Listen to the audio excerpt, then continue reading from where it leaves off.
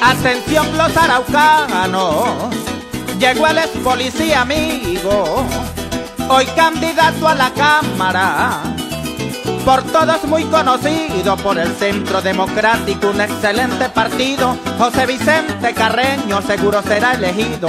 En Puerto Rondón y Cravo y allá en Portul son testigos que Arauquita y Saravena y Entame estamos contigo. Amigas y amigos del departamento de Arauca, les habla José Vicente Carreño.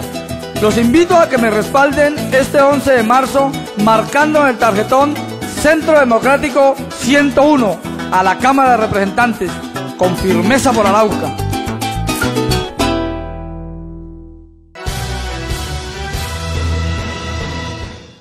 Y el municipio de Arauca se encuentra en el atolladero más grande de su administración en los últimos años y los responsables no buscan una solución. En el actual periodo administrativo, el alcalde y los concejales de las mayorías se la han pasado entre rifirrafes.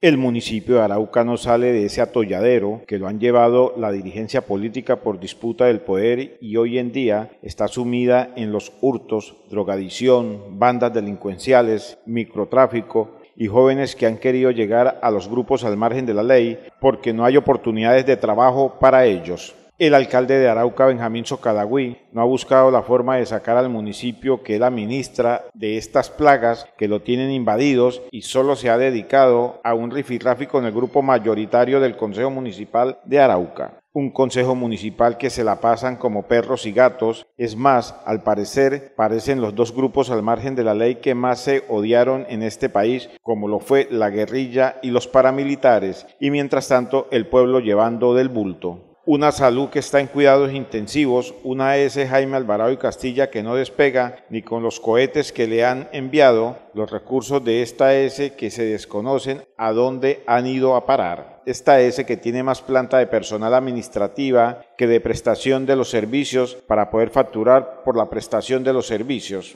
ahora invadida de los hermanos venezolanos que buscan cómo rebuscar el sustento diario para poder llevarle un plato de comida a sus hijos y que hoy son llevados nuevamente a su país. Un comercio que se encuentra en la quiebra, contratistas que cobran sus anticipos y compran en otras ciudades, pero menos en Arauca. Por estos días solo se ve la disputa de algunos candidatos para poder obtener dos curules en el Congreso de la República y otros candidatos al Senado, pescando votos y luego que ganan se olvidan de Arauca, la tierra del joropo y la puerta de la libertad. Quedan dos años de la administración municipal actual y aún continúa la guerra entre alcalde y algunos concejales y mientras tanto el pueblo que se lo lleve ustedes ya saben quién. El municipio de Arauca seguirá como el cangrejo si el alcalde no se amarra los pantalones antes que le termine su administración para sacar al menos un poco de esta crisis a la capital araucana, porque si no pasará por la alcaldía de Arauca sin penas y sin gloria.